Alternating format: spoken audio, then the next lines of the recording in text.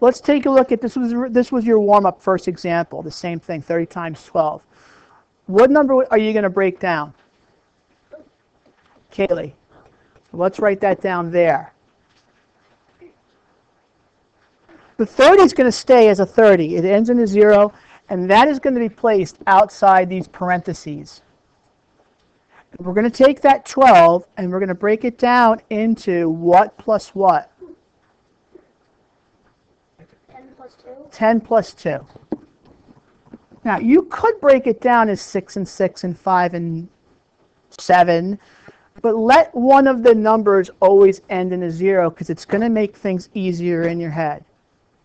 Now, what you're going to do is you take this 30, which is outside the parentheses, and you're going to multiply it by each number inside the parentheses. And we're just going to rewrite that multiplication step. So you have 30 times 10 plus what, guys? Nope, you guys still distribute this 30. Plus what times what? 30 times 2. Okay? It's, it's a common mistake. I see kids do that. They want to do 30 times 10 and then just add the 2. You can't do it. You got to take what's outside the parentheses and you got to multiply it by each number in. Okay, so now we're going to e evaluate each multiplication expression. What's 30 times 10? 300. Okay. 30 times 2. Smash it together. 360. And you'll notice that'll match up what you got on warm-up page 1. Okay, let's do the next one. What number do you break up? Tom Tom. Correct. 400 stays as is. What do you break 27 into? Jack. Correct. Remember, you're taking the 400 and multiplying it by each number inside the parentheses. I like to make the arrows because you can kind of visualize what you're doing. 400 times 20 plus what times what? E squared. Correct. Okay.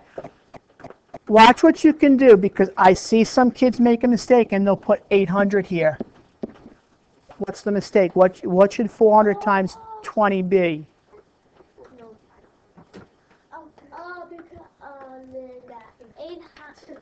8,000. 8,000. Here's the zero trick, ready? And you can do this at any time and it works just about every single time. What's 4 times 2? Say it out loud. 8. How many zeros do you see? Three. Three zeros. So it's 8 and then your three zeros. Let's do it here. What, what's 7 times 4? 28. How many zeros do you see? Two. Add two zeros. Okay, it'll work every single time. Gets a little different when we do decimals, which I'll show you, but for, for whole numbers, it'll work every single time. Okay, smash it together. Steven, what do you got? Steven, what do you got? 10,800. I get it. 8,000 plus 2,800. And listen, if you get to this and you need to do it off to the side, then do it off to the side. Yeah, okay. All right, so that's how distributive property works with whole numbers. Now let's do it with decimals. Flip the page. Kind of really what this is really kind of the meat and potatoes of what lesson 10 is because you got to now be able to do it with decimals since we're in the decimal part of the module. All right, so take a look at the second number. That's the number we're going to break up. How do you break it up? 200 is going to stay as is. My goodness. Michael. Nope, not 10 10 and something, Point six. 0.6. I have another one. I have another one. You could do point, no, not point, six hundred, no, six tenths. That is 6 tenths though. So I, I got, I got It's 10 and 0.6. Don't make it more complicated than it needs to be because the whole idea is if you could break it down and now multiply each one. Let's do it. Well, first let's rewrite it.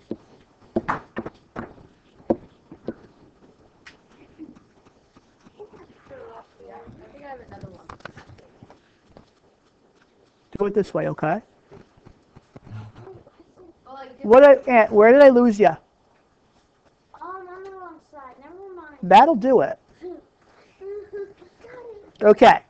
Let's use the zero trick. What's 2 times 1? One, two. How many zeros do I have to add? You better get this right. All right. Good. This you've got to be a little careful with. Wait, I know this. Okay? If this helps you, is 0.6 greater than 1 or less than 1? Less than. Less than 1, right? So if you did 200 times 1, what would your answer be? Two hundred. 200. Now, if you're multiplying by a number that's less than 1, this answer has to be less than 200. I got it. Oh, I know, I know, please. Uh, please. This way, uh, we gotta make it, Well, first, what's the answer? What's what's 200 times 0.6? And then I'll show you the method. No. No.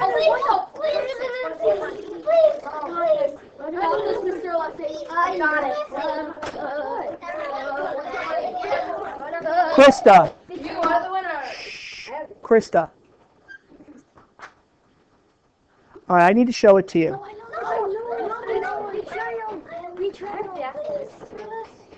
Amanda, 120. Yes, I got that. Listen, I'll show it. I'll show you how. Let me show you how to do the zero trick with a decimal. I, I said it was a hundred just I'll wait till everybody's ready.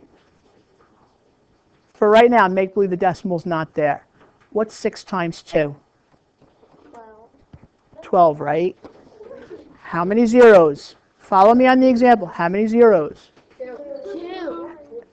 Now watch. It's a, there's a decimal involved. How much are you moving the decimal to the left? One. Move it once here. You get 120.00 or 120. But always look back and check because this number here has to be less than this number here if you're multiplying by a decimal less than 1. Antonio. Uh, I got the answer a different way. I I did, well, in the beginning, and Yeah. I broke down the 200 instead, and I did one- 10.6 times 2. I got 212, and then I just moved the decimal, the two zeros. I'll have to take a look at it and see. I gotta visualize it on your paper. Anyway, smash these two numbers together because we're not still we're not still completely done. It is two hundred, two thousand, no, three thousand, two hundred. Good. Any questions with this? Because we have one more example now where we've got to break down a decimal. That's not right. It's like It's 2,000 It's all- it's 2,000 plus 120. Oh, you know what? You're right. I'm look. I was looking at this number. He was yelling at me. I wasn't yelling. All I was doing was shaking my head up and down. 2,120. Sorry about that. Right. I said two thousand. Anthony, I did that on purpose. I wanted to see if you were absolutely sure of your answer. You. Three thousand two hundred. Yeah. Well, how was he? He said 2,000, and I shaked my head. So he went in a different direction, and basically, I I could lead him wherever I need to lead him, regardless of what the correct answer is. Anyway, 2,120. Under um, your control. This right here, like the numbers, like the plus sign. All right, let's take a look at example two. What number are you going to break up?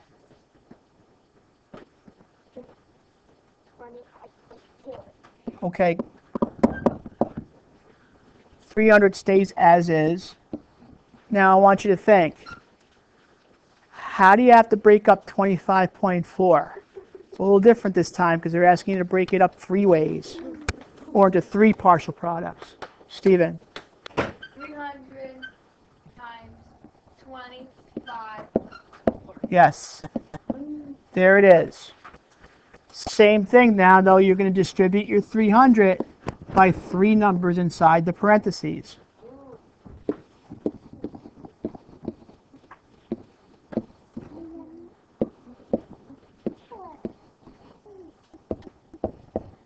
Okay, so that's what it's going to look like after you actually write out the multiplication. Use that zero trick to your advantage whenever you can. 300 times 20. Max, Six thousand. correct. 300 times 5. Ryan, how much? Correct. And the one that you got to be careful with is 300 times 4. Point four. 0.4, sorry. One thousand. It's got to be less than 300, Kayla. Because it's a, you're multiplying 300 times 0.4. Okay. How many zeros? Two. How many times do I have to move the decimal? 120 again.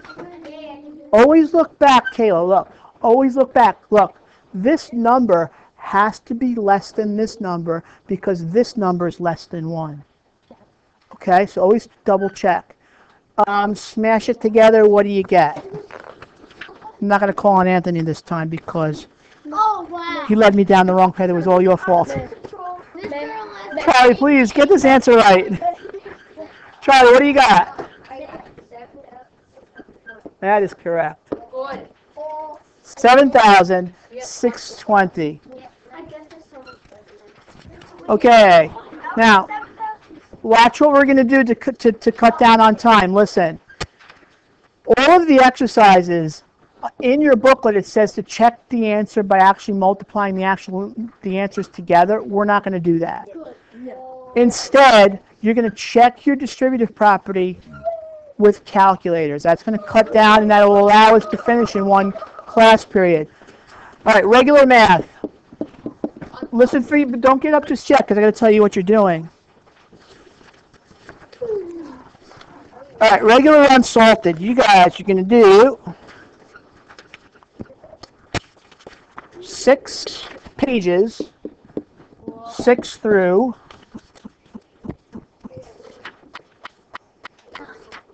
Sounds about right. Six through ten. Advanced. Eleven through thirteen. Okay. Advanced. There's one. There's one typo in your booklet. I'd like you to go to um, page twelve. Advanced only. Go to page twelve. Watch, guys. This should be zero point one eight. Answer keys are hanging up for everything. Page 12, this change should be, uh, 0.12 should be 0.18. It's a mistake. All right, grab, group up, calculators, and go.